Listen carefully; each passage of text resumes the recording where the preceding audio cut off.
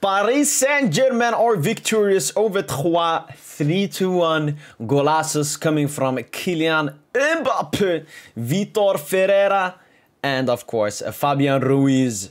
Very stupid goal to concede, but it was a professional performance to, to some degree at least in, in most in the majority of the game was a professional performance for most of the players. Um, I'm, I'm a bit disgusted with Galtier and his substitutions. No Serif and Haga no Ismail Gharbi no Bitshiabu and no uh, Ilyes Housni giving minutes to Renato Sanches and Soler two players that are probably not going to be here next season. It's a bit it's a bit worrying. And giving Gharbi 30 seconds that's absolutely disgusting. He didn't even touch the ball when he was on the field. Um, but yeah, I'm happy with what I saw today. I'm happy with the performance. I want obviously better. Uh, but at the moment, I'm just thinking I want to end the season as soon as possible. Three points in the bag, six point difference between us and Axelon, four games to go. So if we pretty much win two more games, the league and is wrapped up. Two wins in four games. Wow. That even I can say this, that it just means how bad we have been this season. That I'm not thinking of this automatically. We just need to get the job done. Next game against Ajaccio.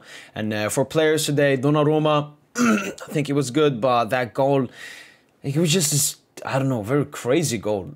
Like Donnarumma obviously was way off his line, but I don't know if that would have made that big of a difference. But but yeah, Warren, huge performance as a right back, has uh, yeah pretty much that's better than anything Achraf Hakimi has done, and he's 17, and he's a midfielder. Marquinhos, Ramos, uh, Danilo, not so much to say about them. All did great, didn't face anything. I thought Danilo was really superb, uh, helped out uh, in a lot of runs and made a lot of great passes. Same goes to Ramos and Marquinhos. Bernat is Bernat. That Elastico, it shocked me a bit. Uh, more of that Bernat, but yeah, it's, it's Juan Bernat. He's burnt. Uh, in the midfield today, they stopped up because I saw a lot of comments with uh, Messi being suspended for this game. Where was the creation? Where was all of that coming from?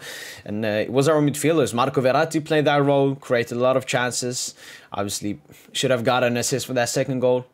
It's an assist in my books. Vitinha getting a goal, Fabian getting a goal. Vitinha was also crucial in that first goal that Kylian Mbappe scored. So great performance from the midfield three, and uh, Kylian Mbappe and Hugo Ekitike. Hugo Ekitike I don't know what's wrong with him. He, I, I think he tries too much. It's like a girl is there watching him, and he he tries all of these fancy stuff. No, don't be fancy. Play it simple. Play, make runs, do the dirty work. That's the kind of player you are. You're not a superstar. Don't act like a superstar. And Kylian Mbappe, not a crazy performance, but got that goal early on, and um, and was always a threat. Obviously, was close to scoring right before that third goal was scored.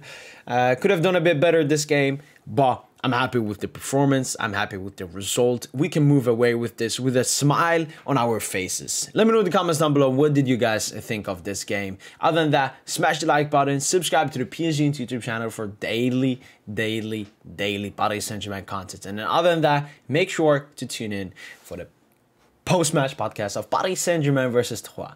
Allez, allez, allez, bye!